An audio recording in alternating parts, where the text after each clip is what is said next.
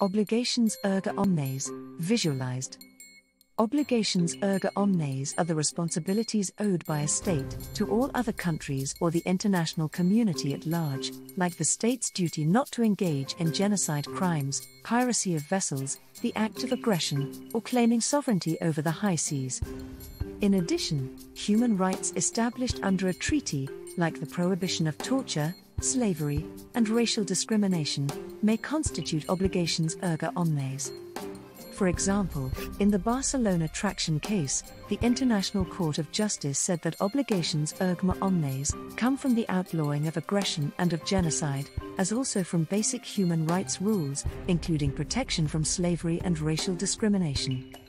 In addition, certain multilateral treaties, like the Treaty of Constantinople, regulating navigation through the Suez Canal, establishing a particular territorial regime, or boundary agreement, may create obligations or rights erga omnes, and therefore must be respected by all states.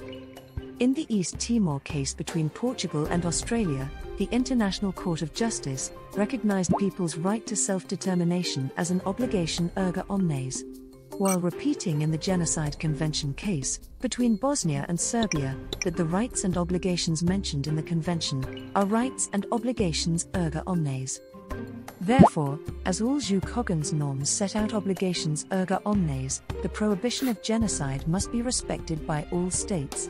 As a result, if a state breaks this obligation, all states can raise this violation and request the responsibility of the wrongdoing state the United Nations can also create obligations erga omnes for all states. Even for countries that did not participate in its creation or were later admitted to the UN.